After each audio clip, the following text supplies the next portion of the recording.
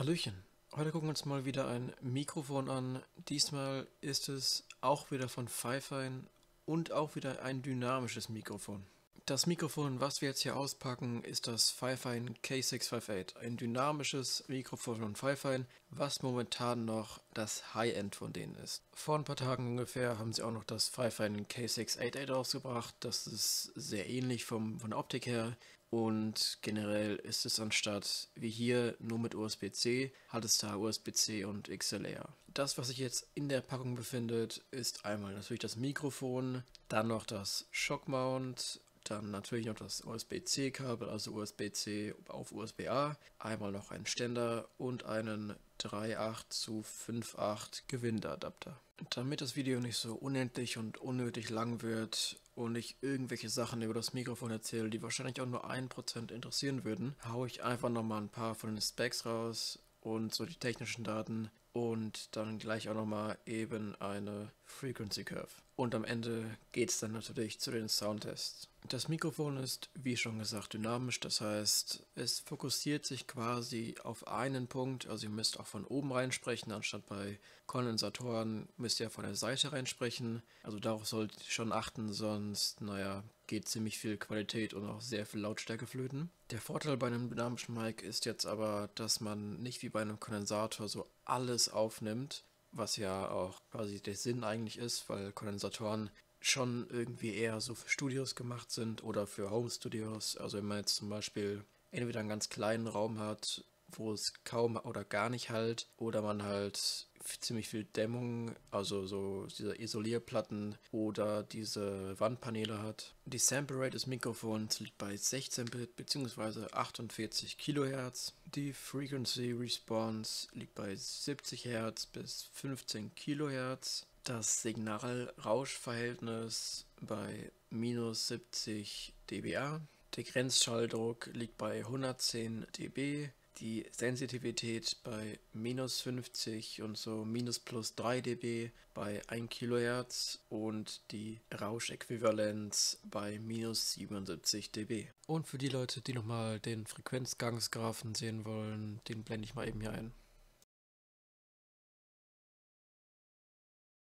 So, das ist jetzt der normale Abstand zum Mikrofon, mit dem ich normalerweise beim Zocken oder beim generell im Talk sitze. Und ja, dann gehen wir erstmal in den ganzen Soundtest rein. Ich habe einige Entfernungen und noch Anwendungsbereiche abgedeckt. Das hier ist jetzt das Mikrofon mit 100% Gain und dem normalen Abstand, also auch demselben wie gerade. Und ich vermute mal, dass dabei schon einiges an Rauschen mitkommt. Test 1, 2, 3, 10 cm Abstand. Test 1, 2, 3, 10 cm Abstand.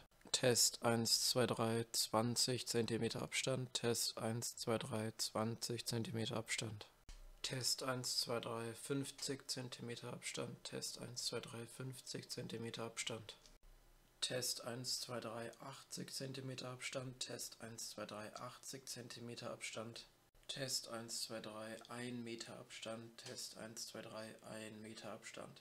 Jetzt kommt einmal der Typing-Test mit 40 cm Abstand von mir zum Mikrofon und 55 cm Abstand von der Tastatur zum Mikrofon, die unter dem Mikrofon liegt. Dann tippen wir einfach mal rum und sagen einfach ein bisschen was dabei. Test 1, 2, 3. Ich tippe gerade ein bisschen rum auf meine neuen QK65 mit Tangerine Switches und GMK 8008. Und ich tippe immer noch ein bisschen, bisschen mit meiner Spacebar, Enter, Backspace und ein bisschen weiter tippen.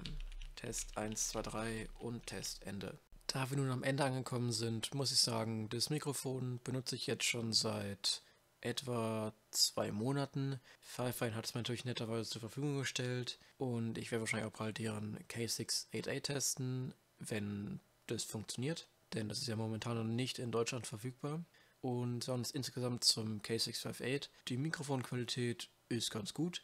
Es gibt leider besseres für 100 Euro. 100 Euro ist relativ viel. Für ein Mikrofon geht es jetzt. Also vergleichbare Dinge wären ein Samsung Q2U oder ein MB88U Plus oder zum Beispiel auch ein XLR-Combo mit dem XM8500 und dem Complete Audio 2 oder beziehungsweise eher 1, weil die meisten brauchen wahrscheinlich keinen zweiten XLR-Anschluss. Wenn ihr noch Vorschläge habt für Dinge, die ich reviewen soll oder mal vergleichen soll, dann schreibt sie mir gerne in die Kommentare. Lasst gerne ein Abo da, wenn ihr noch nicht abonniert habt und den Content vielleicht mögt. Wenn euch das Video gefällt, könnt ihr auch gerne ein Like da lassen und adios.